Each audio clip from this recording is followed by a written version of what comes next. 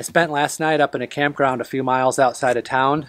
Cooked my coffee and oatmeal this morning for breakfast and then rolled into Atlantic City. We're going to drive around through town, check it out a little bit. There are places that you can stay here. There's cabins for rent. They've got a little mercantile store and a restaurant. And there's a saloon here.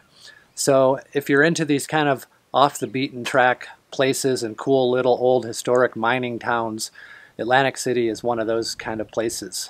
And from here, we're going to head south into some really remote backcountry riding. We might see some cool rock formations and some sand dunes, so stick around for that.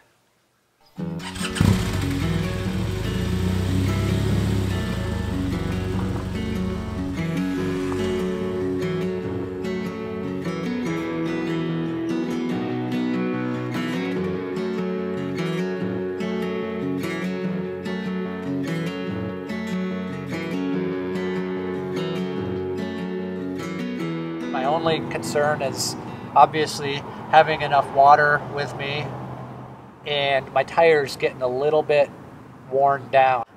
It's pretty remote, so it would be a long, hot, hard, sandy ride through, I don't know, 80, 100 miles of pretty remote, barren country.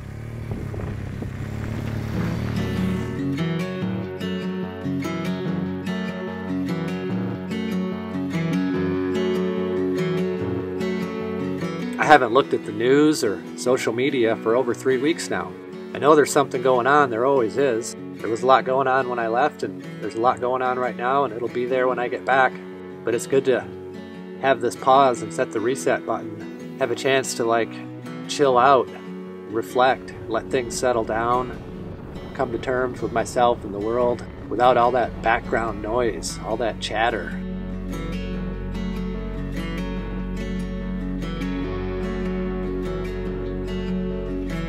Every time I think I'm out here doing something badass, I run across somebody like that.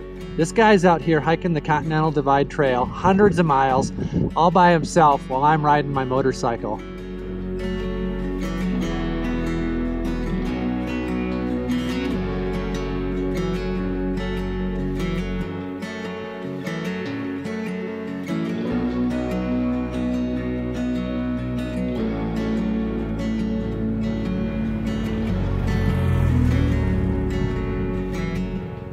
This is such an awesome road. It feels so good to be out here on this dirt road instead of the pavement in the backcountry of Wyoming.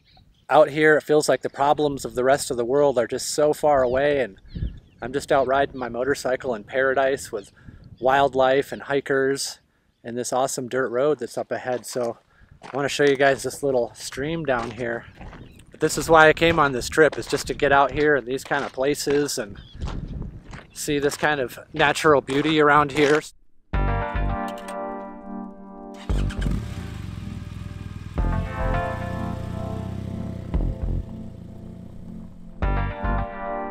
So much going on in the world right now, so much friction and instability and change, and it's real and it's important and it means something, but it's also real and important and it means something for me to be out here living like this and experiencing this kind of solitude.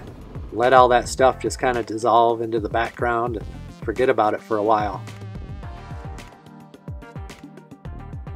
There's a lot of little crisscrossing intersections and I'm trying to follow the track and so I'm having to stop every few minutes, make sure I'm on the right track and then I get off and have to backtrack or cut cross country on a lesser trail, but I'm making my way through it.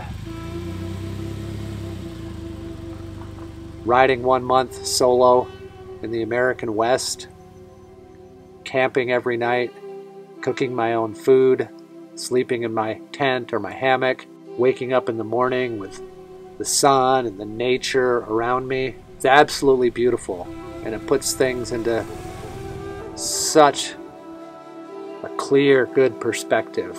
And I'm not saying that those problems with what's going on in the world around me don't exist because they absolutely do. But I just feel like I can meet them from a much more centered place when I'm coming from a centered place, which is where I'm coming from on a trip like this.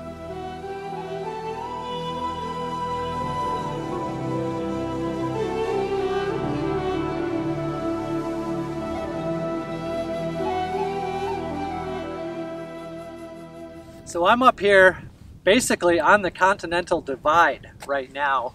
Down here below me, there's an area of rock formations and it's called the Honeycomb Buttes. It's worth pointing out that if you do come to these kind of areas, stay on the roads. There's no need to go off making new tracks and trails. There's plenty of roads out here to ride on. That's it. I just wanted to show you this area. This is the Continental Divide. Over here is the Great Basin. And what that is, is where the Continental Divide is like the high point of the Rocky Mountains and the water either flows off the east side or off the west side. But in the Great Basin, the Continental Divide splits and then rejoins and the water that does fall in this area, it's pretty dry, would collect in the middle of the Great Basin. So it's one of those unique features on the Continental Divide and worth pointing out.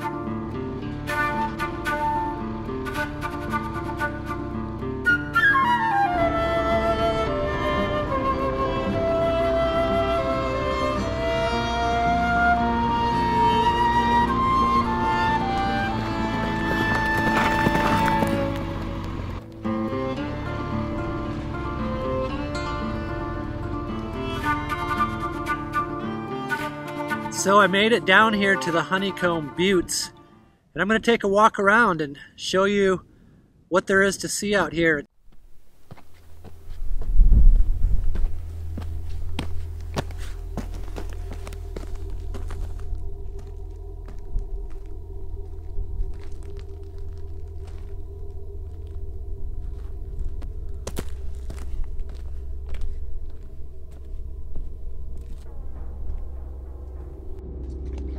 I just love getting out into these wild and remote places like this place here in Wyoming.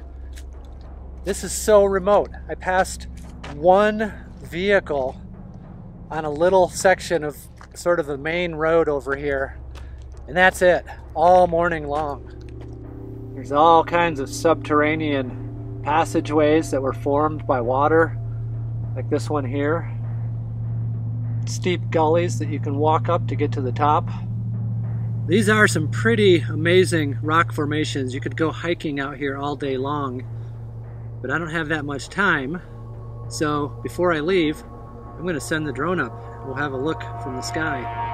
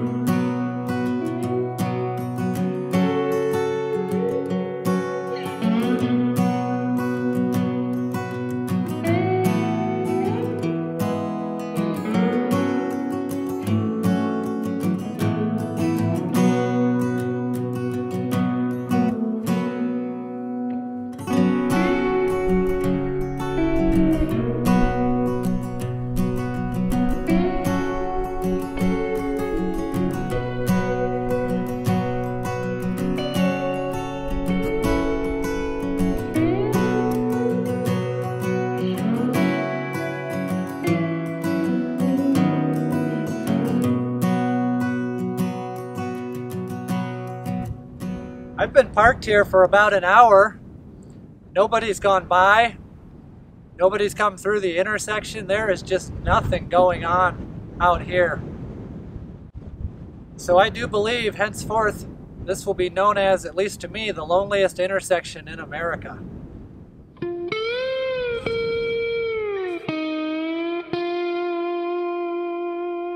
there was just nothing out there. There was no traffic. The whole time that I was there, relaxing and filming some stuff, not a single vehicle came by. And it was about 40 some miles back to the interstate from that intersection.